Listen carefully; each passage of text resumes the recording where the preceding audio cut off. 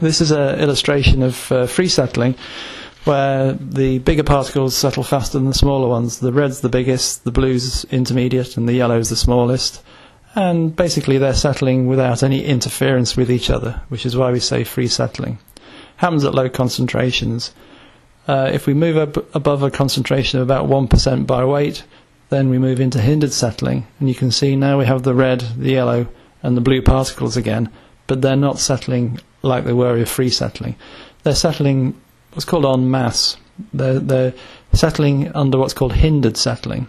And if we were to trace the interface, that's the boundary between the settling solids and the completely clear liquid called the supernatant that's left behind, then that interface plotted against time looks like the graph on the right. It's a straight line and then reaches a period where it starts to curve over a little bit and eventually becomes flat when everything's settled out.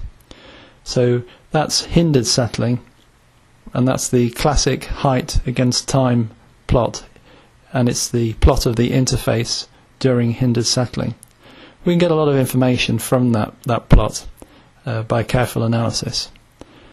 And this is the illustration of the zones that occur there's the interface, interface plot on the left hand side now, and if we take a fixed point in time, the zones are shown on the right. There's the supernatant, the clear liquid, the original concentration zone, variable concentration zone, and then sediment at the bottom. And that's at a position, fixed position in time, t.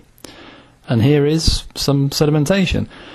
Uh, this is a fairly fast sedimentation. It's normally a, a much slower process than this, and uh, typically performed in batch jars like this, measuring cylinders like this. The good news from the design point of view is that the sedimentation rate is not dependent on the vessel area. So laboratory tests using measuring cylinders are very good for designing industrial thickeners much, much bigger.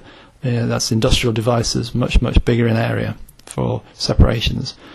And you can see there was an interface, and if we zoom in a little bit, we can probably see that interface a little bit better. There's no. Here we go. There's a another shaking up and settling, and you can see the interface quite clearly now.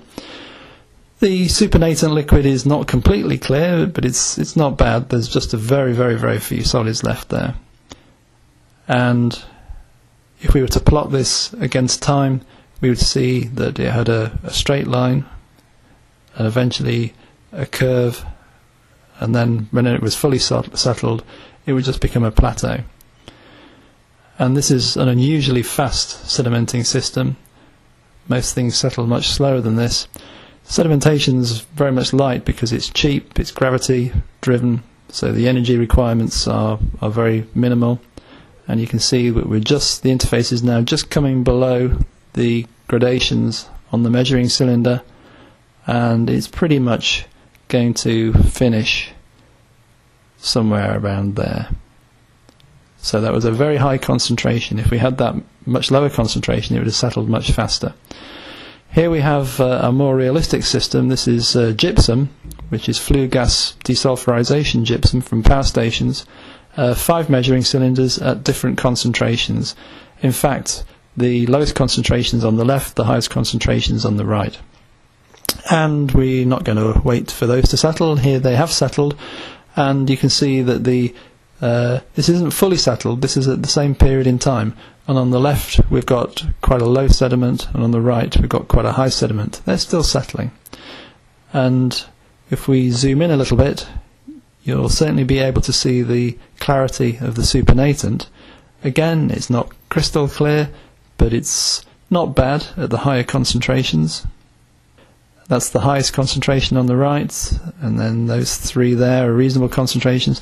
And the two lowest concentrations on the left, you can see clearly that, uh, again, the supernatant is not bad, but it's a little bit cloudy.